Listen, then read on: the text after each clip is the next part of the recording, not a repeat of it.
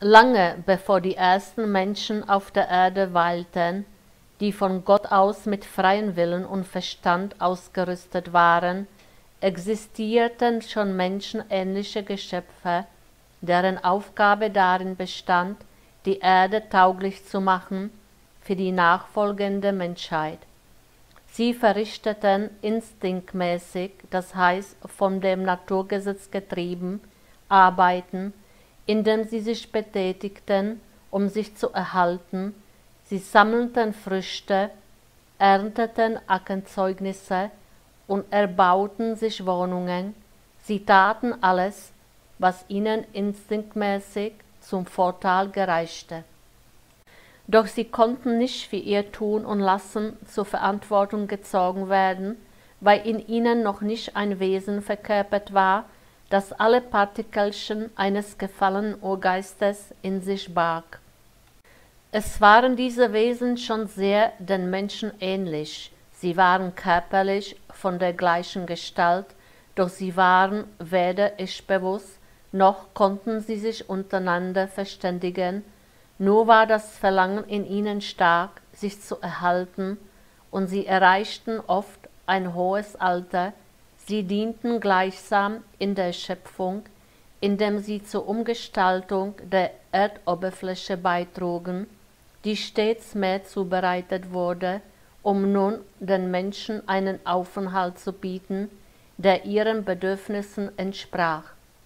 Doch es war jenen Wesen noch keine Aufgabe gestellt,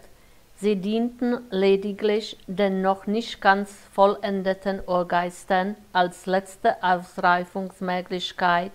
die sie dann als Mensch mit freiem Willen und Verstand fortsetzen sollten. Es konnten also diese Vormenschen, die Präadamiten, nicht als rechte Menschen angesehen werden,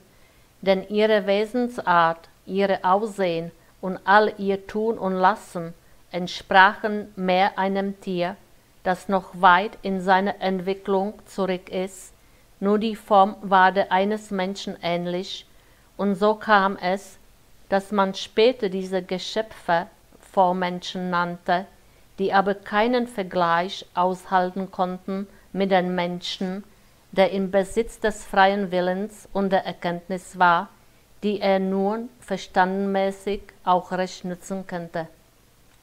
Es kann auch nicht gesagt werden, dass sich der Mensch aus diesen Präadamiten erst entwickelt habe, da er eine Neuschöpfung gewesen ist, die Gott erst dann herausgestellt hat, als der ersten Urgeister viele ihre Verkörperung hatten. Der Vormensch ist eine der vielen Schöpfungen gewesen, die alle ihren Zweck erfüllen müssten, dem später folgenden Menschen eine Heimstätte zu bereiten, die ihm ein sorgenloses Erdeleben gewährleistete. Die Präadamiten waren jene menschenähnlichen Wesen, die darum nicht zur Verantwortung gezogen werden konnten, weil sie ein Tierleben führten, wo alle Instinkte zum Durchbruch kamen, die lange vor den Menschen auf der Erde lebten, die kein Ich-Bewusstsein hatten und nur in Gruppen leben konnten, die also nur dort anzutreffen waren, wo sich später einmal Menschen aufhielten, denen sie das eigentliche Gebiet vorbereiteten durch eine regelmäßige Tätigkeit. Sie war jenen Wesen angeboren und äußerte sich in der Obermachung weiter Feldstrecken, in planmäßigem Ausstreuen von lebenswichtigen Substanzen und den Wiederernten solcher Landstrecken. Sie taten dies alles unbewusst, aus einem Naturtrieb heraus, um sich selbst zu erhalten. Sie bekämpften einander und der Stärkere siegte, und so trugen sie also auch dazu bei, dass sich immer wieder neue Geistwesen inkarnierten, wenn auch nur für kurze Zeit, wo sie ihre Stärke unter Beweis stellten, wo mehr oder weniger starke Triebe zur Geltung kamen, die immer schwächer wurden, je länger sie lebten und dann auch langsam zu der Reife gelangten, um nun die letzte Verkörperung als Mensch eingehen zu können. Also es bestanden schon lange vor den ersten Menschen menschenähnliche Wesen, die aber in keinen Zusammenhang gebracht werden können mit den rechten Menschen. Sie waren wohl in ihrer Außenform ihnen vergleichbar, sie hausten aber wie die Tiere,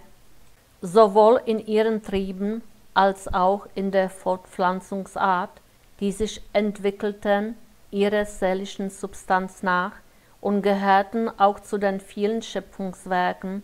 die wieder verschwanden, wenn sie ihre Erdenaufgabe erfüllt hatten,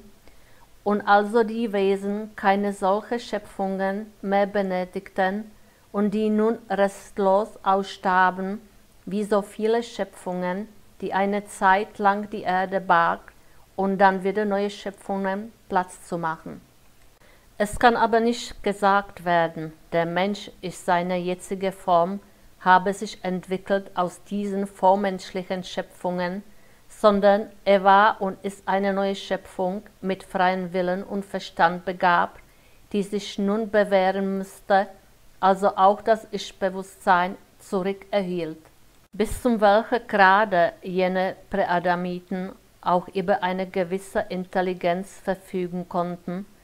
war lediglich von dem Reifegrad der in ihnen sich bergenden Zellenpartikelchen abhängig,